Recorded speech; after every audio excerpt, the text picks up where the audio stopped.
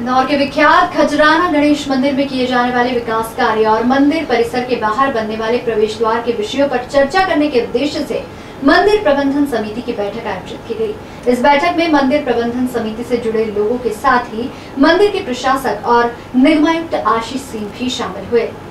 बैठक में खजराना मंदिर के बाहर मुख्य मार्ग पर सवा दो करोड़ की लागत से बनने वाले भव्य द्वार की डिज़ाइन फाइनल की गई। वहीं इस द्वार को स्मार्ट सिटी के मद से किया जाएगा।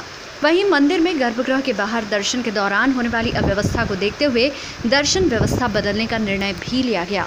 श्री गणेश मंदिर, खजराना पर प्रशासक, नगर निगम आयुक्त श्री आशीष सिंह जी द्वारा एक समीक्षा बैठक आयोजित की गई थी, जिसमें अन्य मुद्दों के साथ साथ दर्शन व्यवस्था का भी एक मुद्दा था। उसमें मेरे द्वारा यह विचार व्यक्त किया गया, उनको एक सुझाव दिया गया कि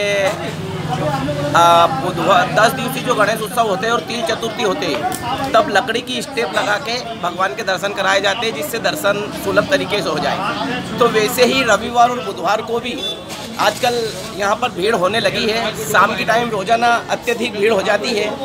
तो इसलिए अभी लकड़ी की स्टेप लगा के टेम्प्रेरी रूप से उसको देखा जाए कि दर्शन व्यवस्था में सुधार किया जाए, और अगर वो लकड़ी की स्टेप कामयाब हो जाती है तो फिर मार्बल से पूरे मंदिर की स्टेप बनाकर जैसे महाकाल मंदिर में है वैसे सुलभ तरीके से दर्शन कराए जाए ताकि आने वाले समय में श्रद्धालुओं को असुविधा ना हो।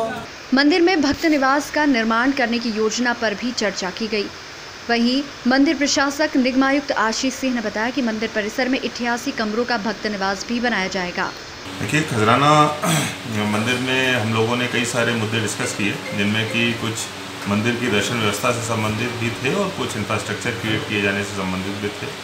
एक महत्वपूर्ण निर्णय जो हुआ है कि हम लोग मेन रोड पर एक खजराना का भव्य प्रवेश द्वार बनवाएँगे और जिसको स्मार्ट सिटी के द्वारा किया जाएगा, उसकी डिज़ाइन भी फाइनल हो गई है। सभी के द्वारा इसको अप्रूव भी कर दिया गया है और इसका टेंडर भी हो गया है। ये लोग, ये काम हम लोग बहुत जल्दी ही शुरू करेंगे।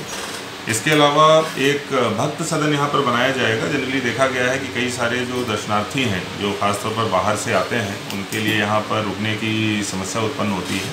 तो उसके लिए हम लोग एक 88 बेड वाली डॉमेट्री टाइप की व्यवस्था करेंगे, जो जी प्लस वन की होगी। उसका काम हम लोग सोच रहे हैं कि दानदाताओं के माध्यम से कराया जाए। इसमें हमारा पैसा न लगे तो बेहतर है। ये ज़रूर है कि जो दानदाता इसमें सहयोग करेंगे डॉमेट्री का नाम जो या फिर जो बेड्स होंगे, या रूम्स होंगे, उनका नाम उन दानदाताओं के आधार के नाम के आधार पर रख दिया जाएगा। साथ ही मंदिर समिति द्वारा एम्बाय परिसर में मरीजों के लिए भोजन व्यवस्था करने पर भी विचार किया जा रहा है।